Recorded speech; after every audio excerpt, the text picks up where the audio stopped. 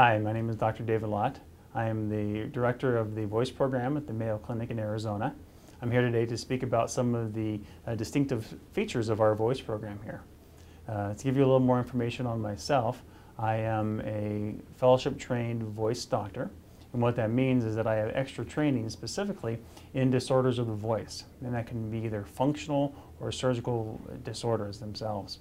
The voice program in Arizona is truly unique, especially in the Southwest. We are the only true voice center in the Southwest that caters specifically to voice disorders. We're geared towards professional voice users, but it encompasses all people who speak on a day-to-day basis.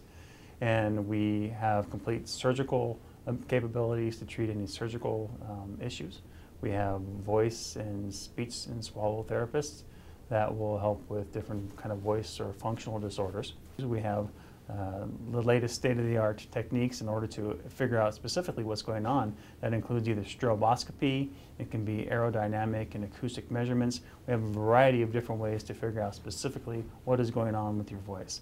And then from that point on, we have the training to know how to deal with that, whether it requires surgery, voice therapy, uh, different kinds of procedures. There's all different things we can do to, to fix that problem. One of the unique things about our program is that professional voice users have 24-7 hour access to a voice professional that can help them.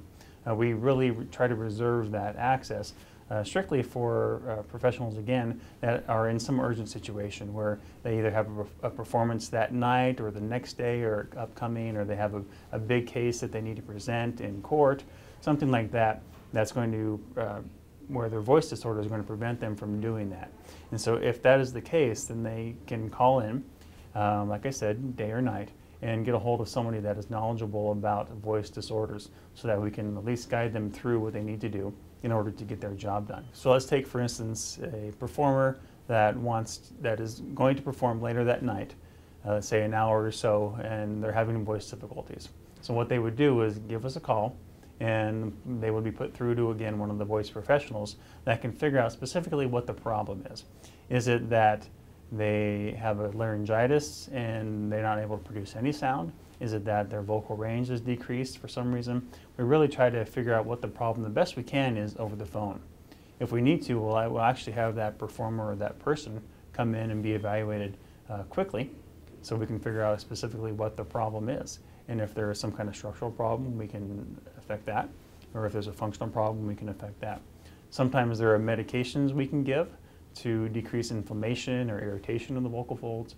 Uh, sometimes this is, uh, I don't want to say simple, but sometimes it's uh, as, straightforward as doing some vocal function exercises that help to relieve tension within the voice box itself. And, and again, any tension within that system can really throw off the entire voicing mechanism. Thank you very much for seeking us out. If you do have questions or would like to be seen here at the Mayo Clinic in Arizona, please feel free to uh, call for an appointment or visit our website.